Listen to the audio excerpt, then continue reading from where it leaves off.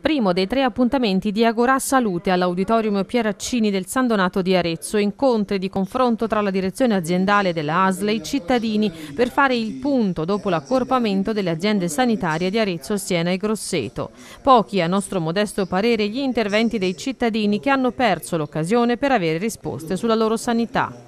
L'evento è arrivato peraltro all'indomani dell'aspra polemica tra Luciano Ralli, sottoscritta anche da Angelo Agnolucci e dal segretario del PD, e la direzione aziendale che a mezzo stampa aveva anche consigliato a Dindalini di pensare alle cose di casa sua.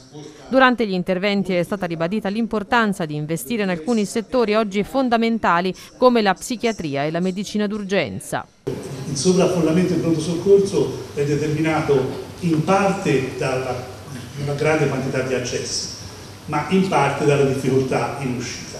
Adesso siamo a una media di 205-210 accessi al giorno, con punte di 270. Noi dobbiamo fare riferimento al modello anglosassone che non divide i servizi della salute mentale a 18 anni, cioè c'è tutta la fascia che va dai 12 ai 25 anni, che è una fascia omogenea, e che interrotta a 18 anni crea l'aggravamento del fatto che è già difficile agganciare una persona di 17 anni, ma poi difficilissimo passarlo a un altro servizio se è stato appena agganciato, avrebbe senso un'equipe unica.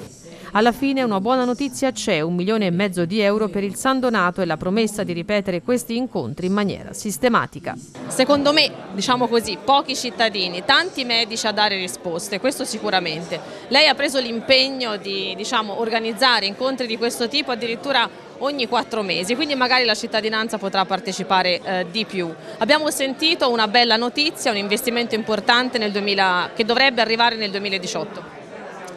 Noi abbiamo il piacere di ascoltare i cittadini, naturalmente i cittadini che sono venuti non pochi, ma insomma quelli che sono venuti avevano le idee chiare, hanno fatto domande molto precise e anche molto buone, molto precise.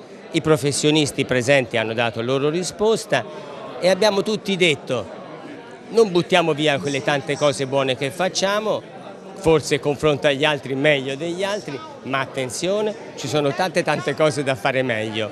Questo è stato un po' il leitmotiv di, di questa giornata. Ci piace l'idea che diventi un appuntamento ogni quattro mesi, quindi in autunno ci ritroveremo con i cittadini e io ho preso appunti e tutte le cose che ci sono state dette le torneremo ad affrontare insieme.